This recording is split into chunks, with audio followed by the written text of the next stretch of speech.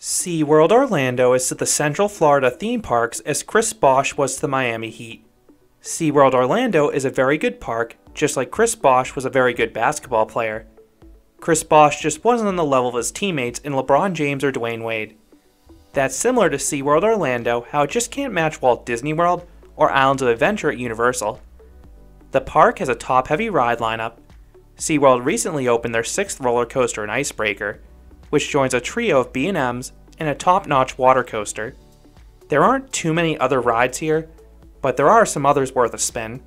So in this video, I will rank the top 10 rides and attractions at SeaWorld Orlando. This list will not include any of the animal exhibits because it's really tricky to compare them with a ride. I also will not be including any of the animal shows. I enjoyed the older ones like Pets Ahoy and Sea Lion High, but the newer ones are a lot less exciting for me. Unless otherwise noted, the attractions on this list are at the main SeaWorld park. This list will include a few water slides at the adjacent Aquatica water park though. This may be a separate admission ticket, but is included with most annual passes and it's just a 2 minute drive away across the street. Starting off this list at number 10 is the Sky Tower. This 400 foot or 122 meter tall observation tower is the park's icon. You can see it from anywhere in the park and from miles away. It isn't open often nowadays, but it features a stunning 360 degree panoramic view of the park and the surrounding area because Florida is flatter than accountant's behind. Number 9. Karekare Curl at Aquatica. This raft slide is a great drop giving a pinch of airtime, followed by a giant wave with some solid weightlessness. This slide may be basic, but it's still quite fun. Number 8. Ray Rush at Aquatica.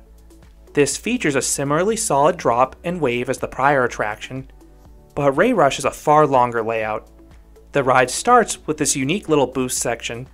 It's not too powerful, but is theatric with all those water jets around you and propelling you forwards.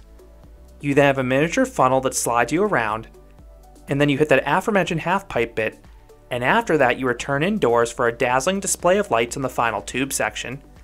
This well-rounded ride experience makes it the best raft slide or tube slide at Aquatica, mostly because of its length. Up next would have been Antarctica Empire of the Penguin.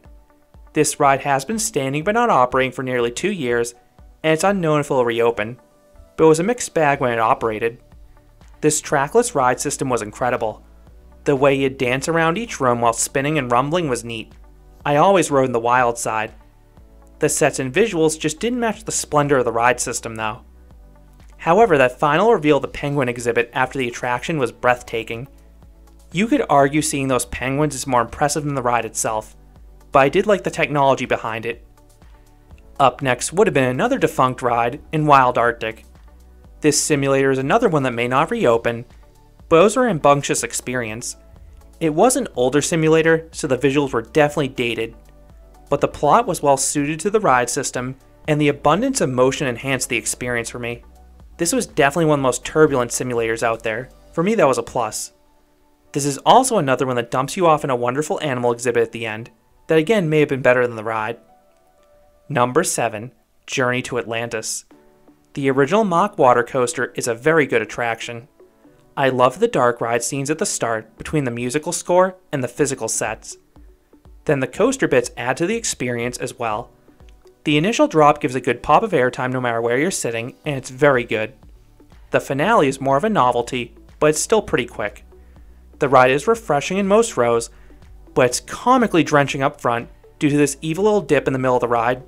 Just look what happens in my POV if you're sitting up front. Number 6 Infinity Falls this Intamin River Rapids ride is one of the wettest water rides in the world. The rapids alone are almost guaranteed to leave you drenched. Most of them are quite sizable, and there's a sequence where you charge over a few back to back to back. This one also has a neat layout between the rare elevator lift, the largest drop on a rapids ride in the Western Hemisphere, and all the lush landscaping. Plus, that soundtrack just adds to the experience as well. Number 5 Ihu's Breakaway Falls at Aquatica. This tall speed slide complex is comprised of a quartet of slides. You have three of the most intense drop pod slides in the world. Each one starts with a steep sudden plunge with some weightlessness, followed by an intense series of turns. Between the relentless speed, crazy sliding, and moderate positive Gs, this slide will blow you away. Then the final slide is two strong drops and a similarly fast paced ride experience. These have a claim as the best speed slides in the world. Number 4, Kraken. This B&M floorless coaster was recently repainted, but the ride experience is just as good as ever.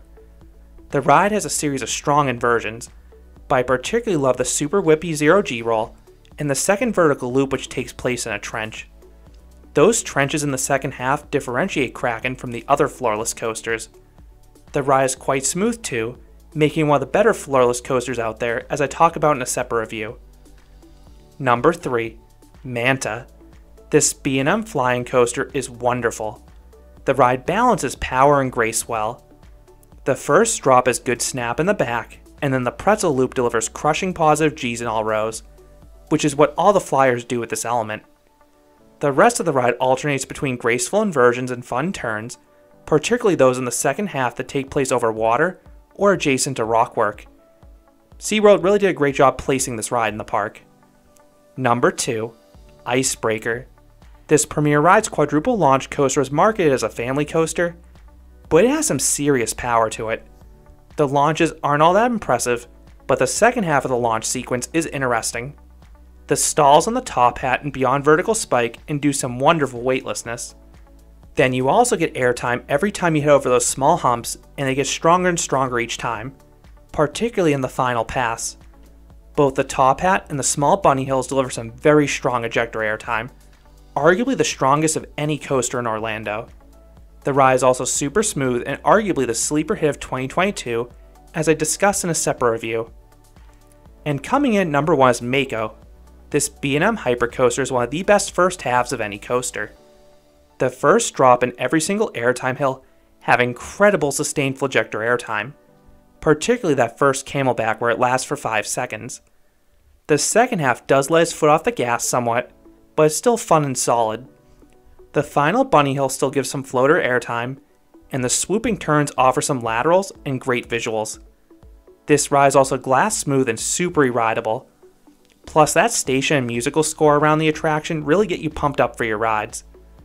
I have a separate review going into more detail, but this is still one of the best B&M hypercoasters out there, and it's still the king of SeaWorld Orlando. So those are the top 10 rides and attractions at SeaWorld Orlando.